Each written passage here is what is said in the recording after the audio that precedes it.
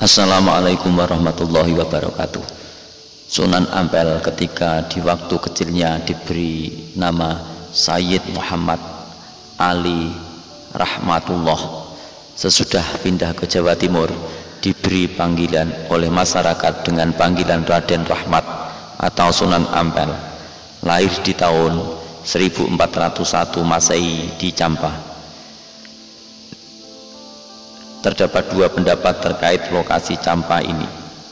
Ada yang menerangkan kalau Campa merupakan satu negeri kecil yang lokasinya di Kamboja.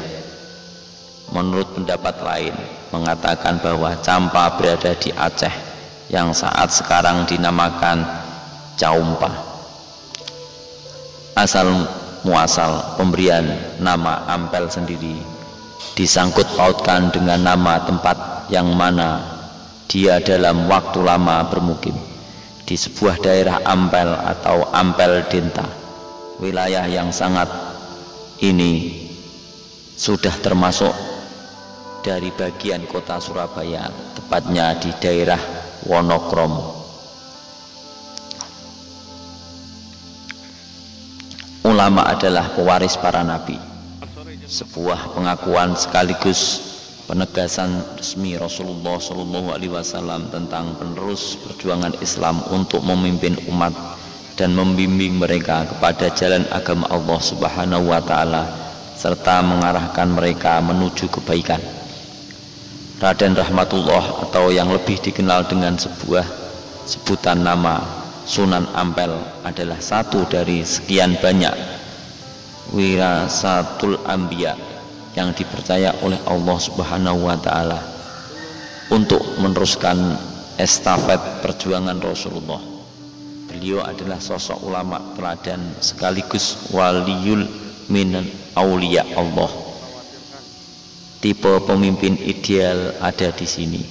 Mubalik ulung, cendikiawan sejati dan penuh perhitungan dalam setiap langkah menapaki terjalnya jalan dakwah dan menghadapi tantangan dalam masyarakat di mana kebanyakan dari mereka sebelumnya telah mempunyai keyakinan yang membumi dan bertentangan dengan ajaran Islam. Sebagai contoh adalah paham Buddhisme, Hinduisme, dan kepercayaan isme-isme lainnya semua paham itu telah ada jauh sebelum Sunan Ampel datang menembarkan ajaran rahmatan lil alamin. Sebuah langkah tepat beliau lakukan sebagai strategi awal dalam metodologi dakwahnya, yaitu pembauran dengan masyarakat akar rumput yang merupakan titik sentral dari sasaran dakwahnya. Saat itu kecendikiawan dan intelektualisnya benar-benar teruji. Tidak mudah tentunya di tempat yang sangat asing, jumud dan kolot. Seorang pendatang dari negeri Campa berusaha untuk beradaptasi dengan kultur sosial yang tidak pernah dikenal sebelumnya. Dengan diplomasi yang gemilang, Kanjeng Sunan Ampel berhasil mensejajarkan kaum muslimin kala itu dengan kalangan elit. Kenapa pada saat itu masyarakat terbagi ke dalam kasta-kasta masyarakat dan pemerintahan Majapahit. Pemerintahan Majapahit pun sangat menghormati dan menghargai hak-hak dan kewajiban orang Islam. Bahkan tidak sedikit pun punggawa kerajaan yang akhirnya memeluk agama Islam sebagai way of life-nya.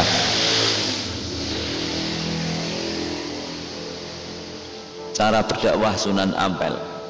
Kalau metodologi dakwah Sunan Ampel dengan masyarakat akar rumput dilakukan dengan cara pembauran dan pendekatan beda halnya dengan metode yang ditempuh ketika mendapati orang-orang cerdik dan cendikia pendekatan intelektual dan memberikan pemahaman logis adalah efektif yang beliau tempuh Hal ini sebagaimana tercemin dalam dialog dengan seorang biksu Buddha. Suatu ketika seorang biksu datang menemui Sunan Ampel. kemudian terjadi percakapan seputar akidah biksu setiap hari tuan sembahyang menghadap ke arah kiblat apakah Tuhan tuan ada di sana Sunan Ampel setiap hari Anda memasukkan makan ke dalam perut agar Anda bisa bertahan hidup. Apakah hidup ada di dalam perut? Biksu itu diam tidak menjawab tapi dia bertanya lagi apa maksud Tuhan berkata begini? Saya sembahyang menghadap kiblat, tidak berarti Tuhan berada di sana. Saya tidak tahu Tuhan berada di mana, sebab kalau manusia dapat mengetahui keberadaan Tuhannya, lantas apa bedanya manusia dengan Tuhan? Kalau demikian, buat apa saya sembahyang?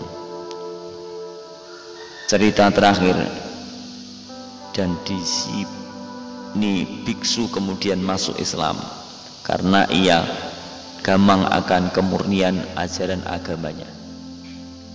Satu ending yang sangat memuaskan, tidak hanya bagi si pelaku cerita, tapi juga untuk kita. Sebuah pelajaran tentang metodologi dakwah di hadapan orang yang tidak menganggap Allah sebagai Tuhannya.